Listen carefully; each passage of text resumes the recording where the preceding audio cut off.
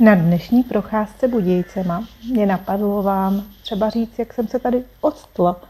Eh, já jsem se narodila ve Vejprtech a celý svý dětství a rané mládí jsem žila v Kadani.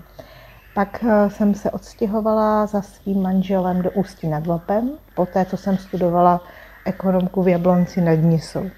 No a v Ústí nad Labem jsem i otěhotněla a uvědomila jsem si, že prostě do takového prostředí, uvědomte si, že byl rok, eh, končil rok 89, nechci přivíst, eh, nebo nechci tam vychovávat své děti, protože tam bylo prostě hm, pro mě děsně.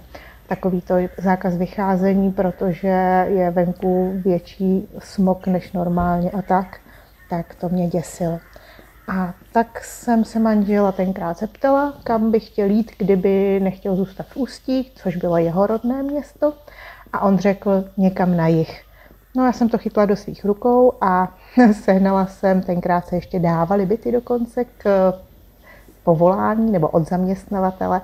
A už eh, o Vánocích 90, jo, byl to 90?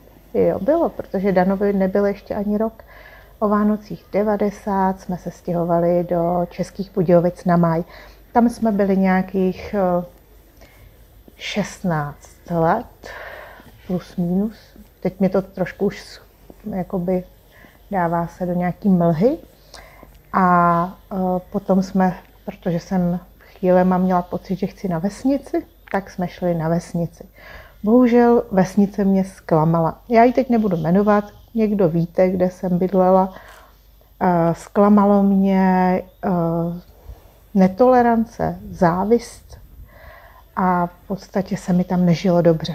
Tímto zdravím paní Novotnou a doufám, že jí se tam žije stále dobře. Ale ona mi tam opravdu udělala trošku ze života peklo. A protože to napětí, toho napětí na mě bylo moc a možná se to trošku podepsalo i v tom všem mým životě ostatním, tak jsem se v roce 2014 přestěhovala do centra Budějic a už jenom sama s dcerou. A už tady bydlíme teda sedmým rokem. Teď už je domča druhým rokem v Praze na vejšce, takže už jsem tady sama. A musím říct, že Budějice miluju, miluju je pořád. Mám pocit, že jsem každý den jednou nohou na dovolené prostě můžu vyjít z domu a za chvilku jsem u řeky, v parku, ve stromovce a je to všude opravdu blízko, je to taková vesnice, město dohromady. A dokud ještě nebyla tahle ta divná doba, tak musím říct, že i fungovaly uliční slavnosti a já měla pocit, že se za chvilku tady všichni budeme znát a opravdu to tak bylo. Za těch pár let na vesnici jsem vlastně zjistila, že tam neznám nikoho a ani tam nebyla nějaká snaha ostatních, byť já jsem se opravdu snažila hodně, dokonce jsem i tam kandidovala no, s nějakým nulovým úspěchem a snažila jsem se pro ty vesnické lidi i dělat nějaké akce a to taky nebylo úplně pochopeno správně. Tak naopak tady Budějice, centrum, prostě ty jsou mému srdci blízký. A když se ještě do toho přidá Krumlov, odkud je Martin, tak myslím, že žiju ve dvou nejhezčích městech na jihu Čech.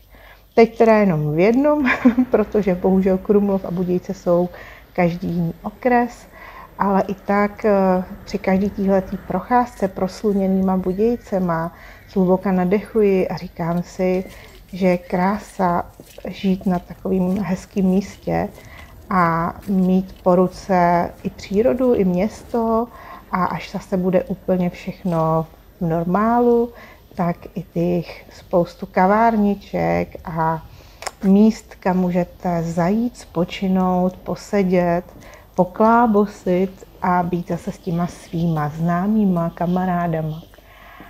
Takže to je takový moje poselství o Budějcích a věřte, že jsem, i když jezdím pracovat do Prahy, tak jsem moc krát přemýšlela, jestli bych nechtěla bydlet v Praze a nechtěla.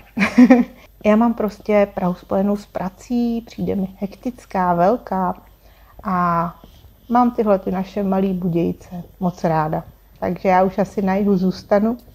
Klidně vyšlo ještě na jich níž, jako do jižních krajin, Mám určitě víc ráda teplo než zimu, ale zase na druhou stranu moc tepla taky škodí, takže Budějice jsou město mého srdce.